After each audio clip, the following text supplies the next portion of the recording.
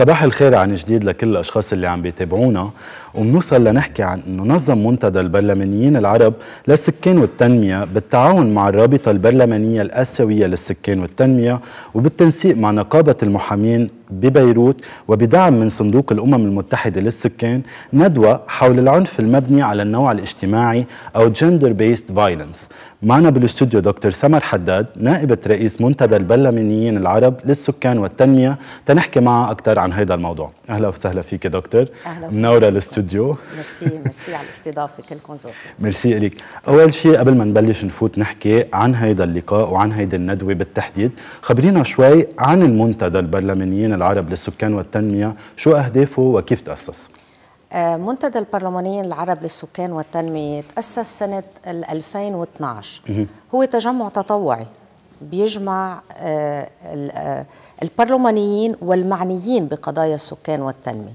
هو بشكل مظلة لجهود هودي البرلمانيين والمعنيين لهيدي القضايا السكان والتنمية لا محاولة مش بس محاولة لجهود كتير كبيرة لتحقيق مجتمعات سالمة آمنة بتشتغل بالمساواة والكفاءة.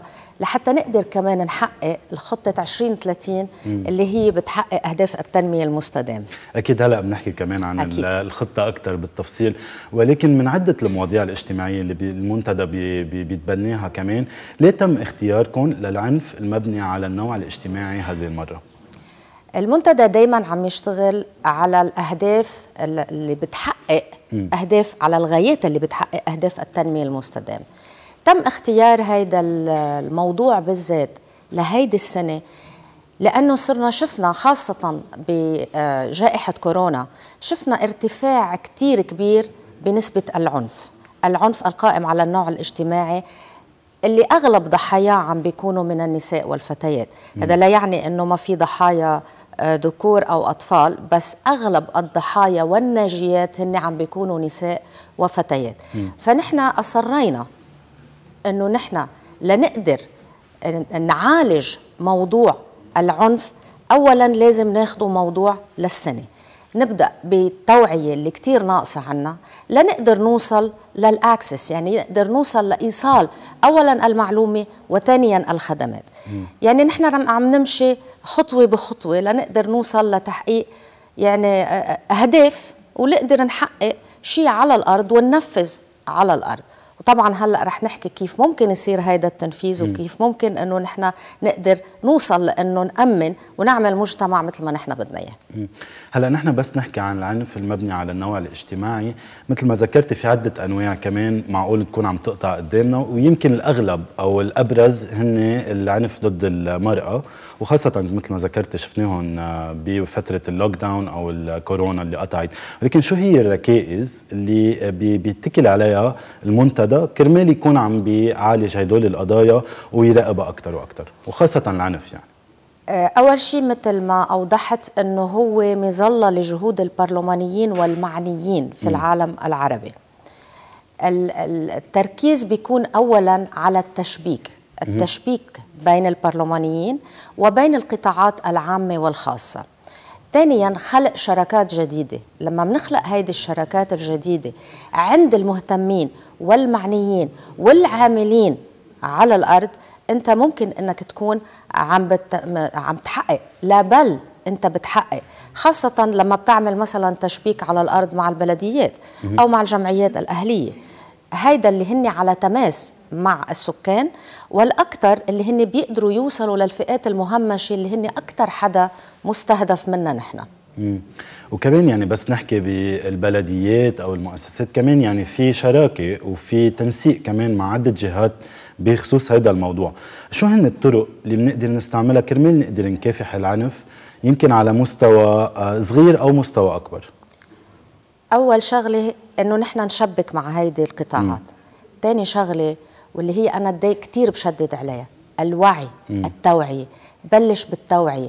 عنا بمجتمعاتنا للأسف عم نلاحظ إنه في كثير نقص بالمعلومات. م. أول شغلة بدنا نبلش فيها هي التوعية. بس نبلش بالتوعية وهون معلش رح أقول رح كون عم خصص المرأة. لما المرأة بتبلش تعرف حقوقها بتبلش تعرف تحصل عليها الطالب فيها. بدها تاخدها. هي في كتير أوقات عم بتكون عندها نقص بالحقوق مع العلم أنه نحن في عندنا نقص حتى بالقوانين المكتوبة بس م. في نقص بالحقوق عند المرأة لأنها تجهل هيدي الحقوق. مم. أولا لازم تبلش تعرف. بدنا نبلش نوعي. حتى تعبير العنف القائم على النوع الاجتماعي بعده منه كتير قريب للسمع. مم. يعني مع إنه هيدا مزبوط مستعمل من من الثمانينات. استعمل من الثمانينات بالجمعيات النسائية. بس بعده شوي مش عم نقدر نعمل تفرقة بينه وبين العنف على النساء مع إنه هو في فرق لأنه هو يتضمن العنف بكل أنواعه حتى العنف على الذكور. فإذا نحن بدنا نبلش بالتوعية. بعدين بدنا نبلش نخلق طرق للتمكين.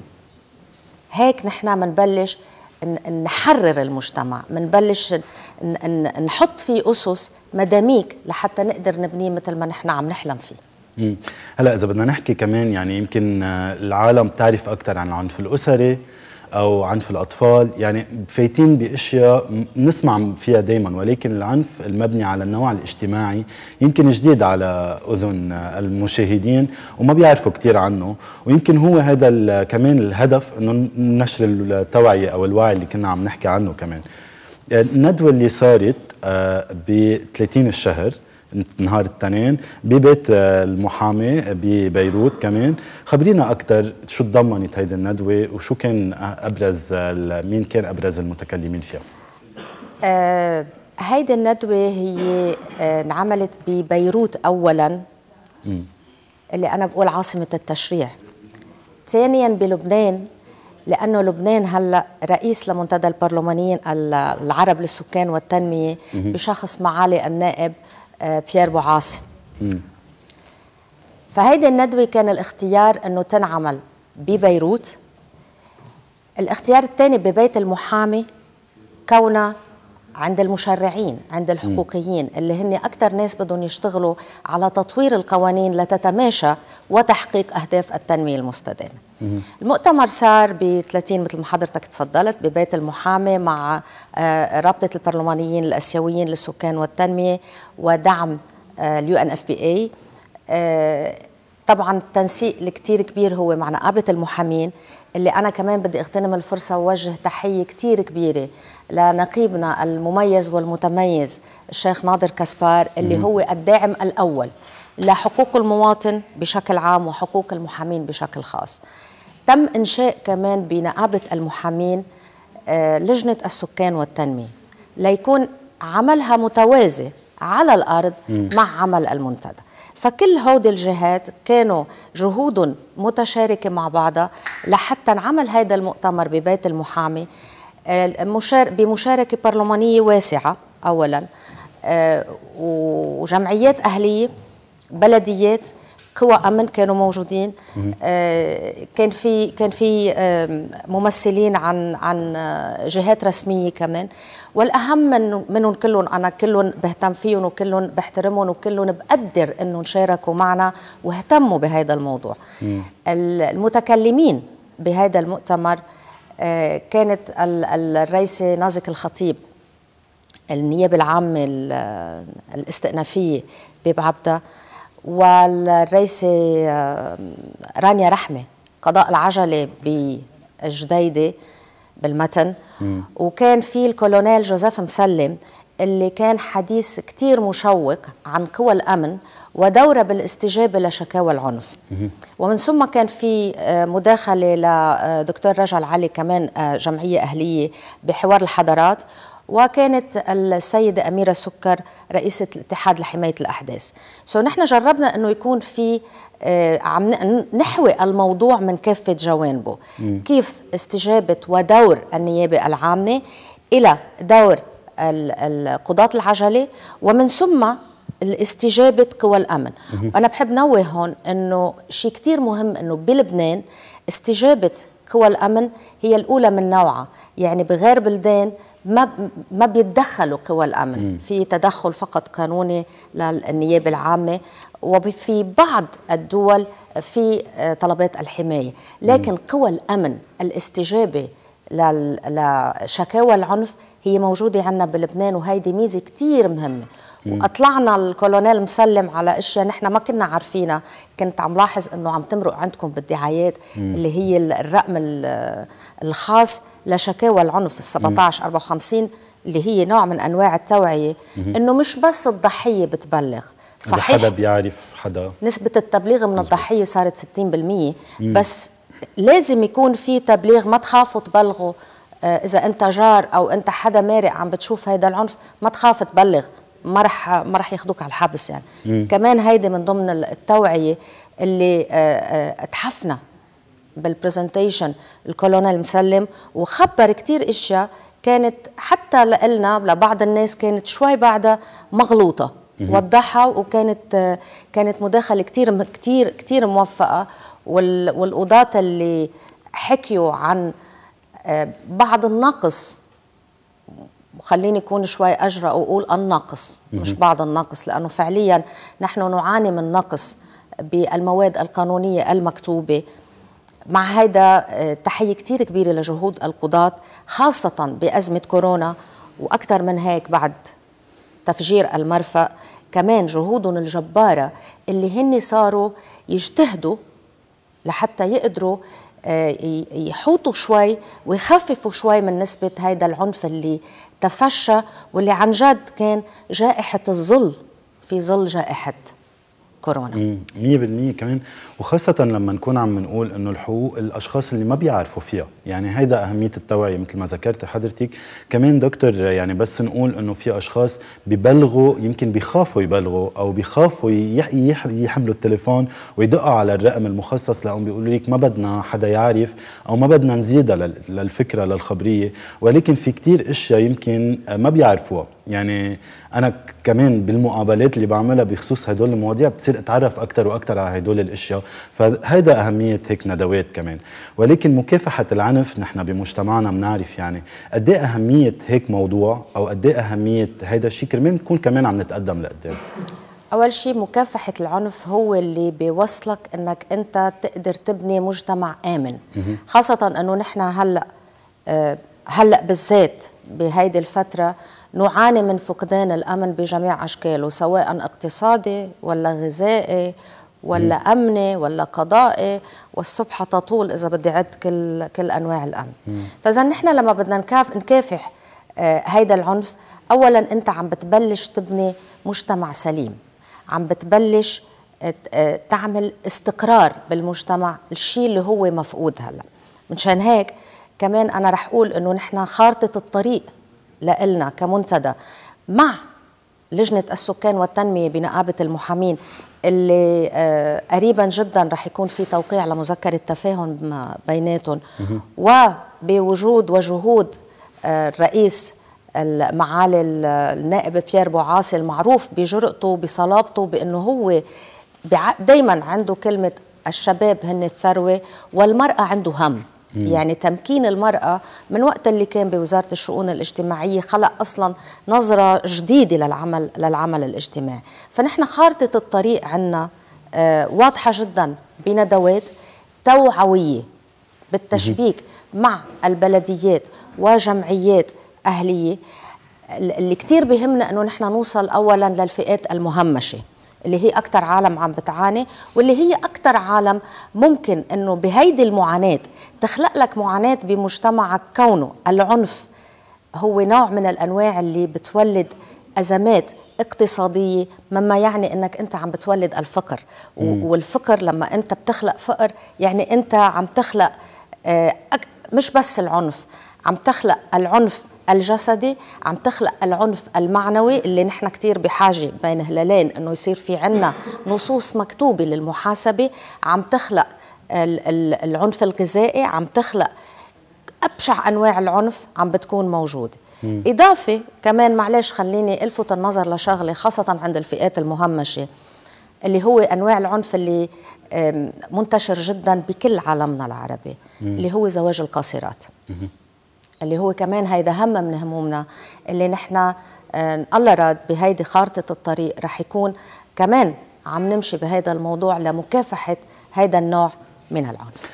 قبل ما نفوت بال action plan اللي محضرينها كمان لل 2023 بس حبيت أعلق على كم شغلة كمان آه، ريتا إنه آه، رئيس المنتدى البرلمانيين للعرب للسكان والتنمية بوعاصي كمان شدد إنه أهم شغلة توفر الوعي بشأن المشكلة وتحديد صحيح. عناصرها والتوعية كي يدرك كل مواطن حقيقة هذا الموضوع ومدى خطورته يعني نحن مش بس توعية أنه في الحقوق أو في الأشياء اللي فينا نعملها ولكن خطورة العنف بالمجتمع اللي كنا هلأ كمان عم نحكي عنه وكمان ذكر بالآخر التحلي بالجرأة لتخطي كل الحواجز كانت اجتماعية دينية ثقافية وكذلك بالواقعية بحيث لا ندعي تغيير المجتمع بشكل جذري ولكن لابد من مراكمة الجهود في هذا المسار. يعني مهم نشتغل تنوصل له مش رح نغير بين ليلة وضحاها ولكن خطوة خطوة لقدام. طبعا لا يعني إنه نقعد نتفرج نحن بدنا نشتغل. مم. طريق طريق الألف ميل يبدأ بخطوة. مم. والمثابره هي الأهم وتعاضد الجهود. كمان منه شيء سهل. هو أكيد. هذا كمان اللي بيقدر يوصل. أكيد. وهون يمكن بنوصل تنحكي أكثر عن ال action plan لل 2023 والخطوات اللي محضرين لها. كمان كرمال تكونوا عم تشتغلوا بهيدي السنة. تفضل. ال action plan نحن مش بس بلبنان. ال action plan هو آه، منتشر بكل العالم العربي. آه، خليني أحكي أكثر عن لبنان لأنه بوجودنا هلأ نحن بتلفزيون لبنان بالذات وخاصة أنه الرئاسة هلأ آه، للبنان رح بلش من لبنان. بلبنان نحن أول شيء عملناه لجنة السكان والتنمية بنقابة المحامين. اللي مثل ما سبقت وقلت إنه هي مقر الحقوقيين اللي هن ببلشوا بالتشريع اللي هو أكثر شيء ناقصنا اللي لازم نبلش نحطه ونبلش نشتغل نحن وياه. وأنا فعلا آه، يعني بحمد ربي إنه عندنا نقيب نشيط وبيدعم وبيهمه آه، حقوق الوطن حقوق عفوا المواطن والمحامين. وكمان في عنا قضاة لا يستهان بهم وفي عنا مشرعين مش سهلين. يبقى العمل يعني شوي تحريك عجلة عجلة العمل. فهيدي أولا نحن رح نبلش فيها. بلشنا بإنشاء لجنة السكان والتنمية اللي رح تمضي مذكرة التفاهم مع المنتدى. بعدين في عنا التشبيك مع البلديات. التشبيك مع البلديات اللي نحن آه، آه، حكينا مع مجالس بلدية وكان حاضر معنا كثير من المجالس البلدية بمؤتمر اللي صار ب 30 وكان في ترحيب آه، يعني لا يوصف لا يوصف فعليا وحطوا كل إمكانيات البلديات على صغرها بالوضع المأزوم اللي نحن فيه قدام خطة المنتدى بمحاربة العنف. فنحن أول شغلة رح يكون العمل مع البلديات على التوعية. من ثم رح ننطلق أكيد للتشبيك مع اللجان البرلمانية اللي كمان البرلمانيين اللي كانوا حاضرين بالمؤتمر واللي مشهود لهم بتقديم مشاريع القوانين وبالشغل الحثيث على محاربة كل أنواع العنف وخاصة العنف الأسري كمان نحن في تشبيك معهم وبكل الحالات هن مش بس برلمانيين هن معنيين بقضايا السكان والتنمية وكمان شغلهم آه، يعني هن أصلا كتير متحمسين وكتير بدهم لأنه ما بفتكر حدا وطني مواطن وطني لبناني ما بده إنه يحسن الوضع آه، بلبنان أكيد. فهذا كمان إحدى الشغلات بالأكشن بالخارطة الطريق مم. اللي نحن حاطينها اللي هو التشبيك مع البرلمانيين التشبيك كمان مع الوزارات اللي رح تهتم. والأه... وبعدين رح نوصل للتشبيك مع الجمعيات آه الأهلية اللي هي أنا مثل ما سبقت وقلت وبكرر وبشدد الوصول للفئات المهمشة. هو اللي بهمنا كتير. هن اللي على الأرض هن اللي بيقدروا يوصلوا للفئات المهمشة اللي هن بالنسبة لنا الهدف الأكثر الأكثر آه، يعني نحن أكثر شيء بدنا بدنا نوصل له هن هول الفئات المهمشة لأنه أكثر حدا صعب إنك توصل له على أمل إنه كل الجهود تكون معنا وتتضافر مع بعض لأنه لما بنكون كلنا سوا إيد وحدة مش ممكن إلا ما نوصل لشيء إلا ما نوصل لهدف إلا ما نضوي شمعة بالعتمة. وبس نحكي عن العنف يعني يمكن كثير أشخاص بتروح على العنف الجسدي ولكن نحن كل شخص عم بيقطع بمرحلة يمكن عم بيتعرض للعنف بمطرح من المطارح من وراء المشاكل كمان اللي عم بتصير. يعني عم نشوف أوقات على الطريق واحد بيكسر على الثاني بيصيروا يعيطوا على بعض بنلاقي صار في مشكل وعم نعرف كل واحد قد إيه عم يتراكم عليه مشاكل صحيح. ومثل ما ذكرتي يمكن آه الأشخاص الفئات المهمشة بالتحديد وكمان النساء والأطفال يمكن هن الأشخاص اللي بيتعرضوا أكثر شيء للعنف بهيك حالات لأنه آه أضعف من غيرهم أو يمكن صحيح. مش ممثلين بطريقة مثل ما هن مفكرين أو مثل ما هن ما عارفين انه ممثلين كمان. فعم بيقوم المنتدى وكثير كمان من الجهات المعنية بالقيام بهذا الدعم اللي هو لازم طبعاً. يكون موجود. طبعا. فيعطيكم ألف عافية من هالناحية. شو بتوجهي رسالة للأشخاص اللي عم بيعانوا أو بيعرفوا حدا عم بيعاني من عنف كمان؟ إن كان من وراء النوع الاجتماعي إن كان أسري إن كان حيلا نوع عنف عنف بشكل عام وخايف أو متردد يبلغ أو يحكي بالموضوع. أول شيء اللي بدي أقوله إنه لازم يكون في عنا الجرأة. هيدي اولا. لازم نكون جريئين إنه نحن بدنا نغير. إنك أنت تعيش داخل آه، كوكون العنف هذا غير مقبول. لأنه العنف رح يمس جسديا ممكن معنويا يعني رح يمس بكرامتك. لما بيمس فيك معنويا يعني أنت بلشت تتغير كإنسان. ما حدا لازم يقبل إنه يكون عم ينمس فيه بهذا الشكل. اولا الجرأة. ثانيا لازم يكون في عنا الإقدام. قربوا تشكوا ما نكون لوحدكم لازم تعرفوا إنه أنتم مش لوحدكم مثل ما في نحن في غيرنا. وعن جد قوى الأمن استجابتها رائعة. القضاة عنا استجابتهم أكثر من رائعة.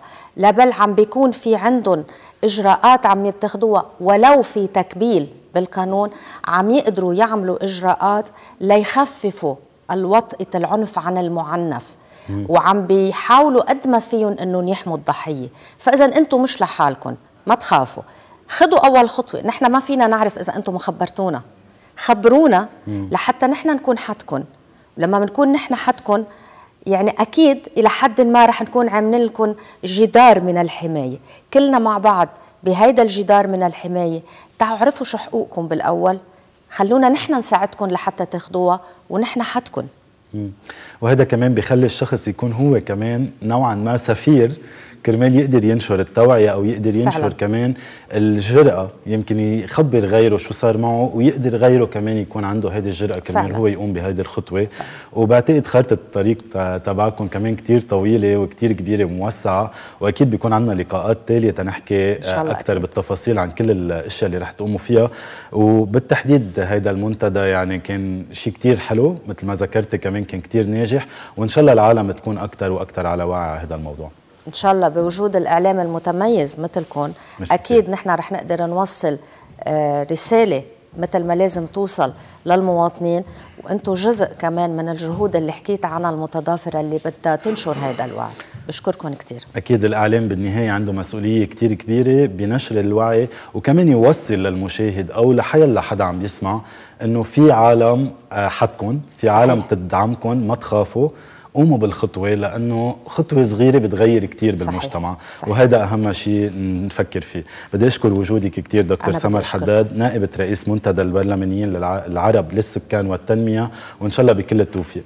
merci merci لكم ميرسي يعطيكم العافية. قامت هيئة الأمم المتحدة للمرأة بإعداد متسلقة الجبال المحترفة جويس عزام لدورها الجديد كسفيرة وطنية للنوايا الحسنة لهيئة الأمم المتحدة للمرأة بلبنان. من خلال نزهة, نزهة إرشادية كانت من 50 شخص بقيادة عزام بجبال الشوف. فريق تصوير أحلى صباح الخارجي واكب هيدي النزهة ورجع لنا بهذا التقرير.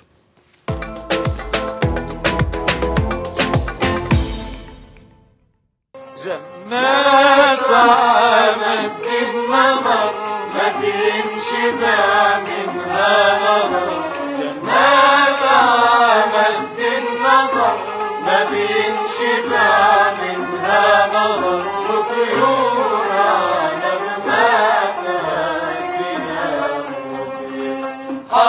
We had many backup plans in the event it rained, uh, but instead we got a glorious sunny day to celebrate. We have a number of speakers who have kindly offered to reflect on this important moment of bringing Joyce in as part of the UN family, as UN Women's National Goodwill Ambassador here in Lebanon. So I'm not going to abuse my role as MC and I'm going to move us along. But I did just want to reflect a moment or say how excited we are as UN Women that Joyce has agreed to join us. Here she is. For two years to raise awareness on women's rights and gender equality. And that together, and with so many other women like her, including many of whom are here today. So thank you. We have with us a triathlete, Lindsay Nader, the Olympic skier, Manoun Awesis. Uh, we have footballer, Haya Najad, who we're going to hear from also later this morning, and many others who couldn't be here, who have done incredible things like Joyce, such as Tima Derian and Rawan Dakik.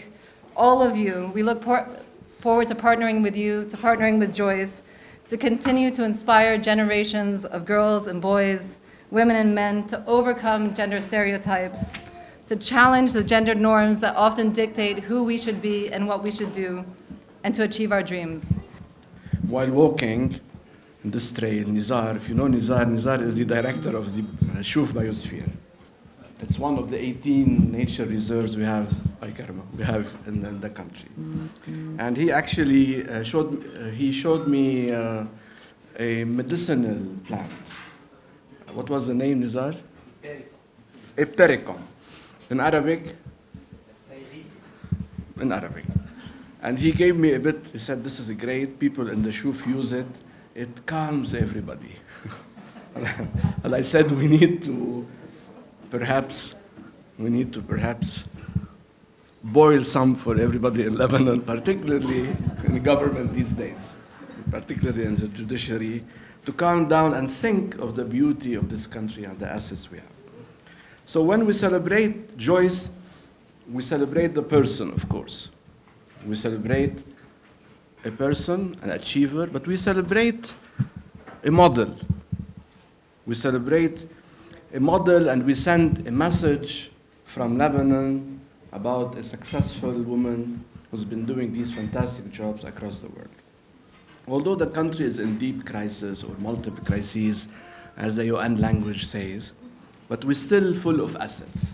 أنا حقيقة سعيدة من وجودي في الشوف كل شوية تقريبا كل الأسبوع أذهب إلى الأماكن جميلة في لبنان أحاول أن أكتشف حقيقة ليس فقط جمال لكن كما معليك تفضلت سكان لبنان وهذه الكوادر وقدرات التي موجودة Sorry for, for this small introduction, but I am emotional. I am so, so happy uh, to be here. So allow me to, to explain why I'm so happy. There are uh, many reasons, of course. The first one is because we are celebrating Joyce today, her efforts and commitments to promote and advance on women's rights uh, and role in Lebanon. But there is a second reason because uh, of the great efforts by my colleague Rachel she has always undertaken efforts to promote women empowerment and women's agenda in this country. And finally, as I mentioned in Arabic, maybe some of you, you know that I am always keen to discovering the beauty of the country and I regularly hike in the mountains of Lebanon. But today, again, we are here to pay tribute to Joyce. So, dear Joyce, your life, your achievement, and proven commitments are extraordinary. I'm so happy to be here and grateful and honored to speak to you today as a UN Goodwill, UN Women Goodwill Ambassador for Lebanon. This appointment shows UN Women's continued commitment to women and girls in the country and across the region and the world. And I am very proud to play a part in furthering this work. Honestly, I already feel the excitement, a little bit of uh, responsibility, actually, a lot of responsibility. In my role, I intend to connect with different communities across Lebanon, advocating to influence people to support women and girls and to promote women's rights. Together with UN Women, I will draw attention to the priority issues for women's empowerment and gender equality, both in sports and in other sectors. Um, for the longest time, I've been criticized for the sports I've played. I always tried my best to challenge these negative comments and negative people and prove to them that women are strong enough, they are powerful enough, and are able to reach the same positions as men. Dr. Joyce is an inspiration to many of us. Her being the only Lebanese woman to climb all seven summits is a huge inspiration. Her achievements have empowered many young women and many young girls to pursue their dreams and fight for their, and fight for their dream till the end without allowing obstacles to get in their way. So, amongst all of us from the international community, from Lebanon, we have all the elements that we need to have really the solidarity that's needed to move towards more women's empowerment. That's what this is all about. So, welcome, Joyce. Thank you very much um, for joining our family.